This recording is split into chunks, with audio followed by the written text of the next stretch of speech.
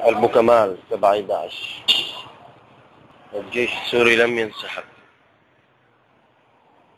وزارة مدرعات موجودة.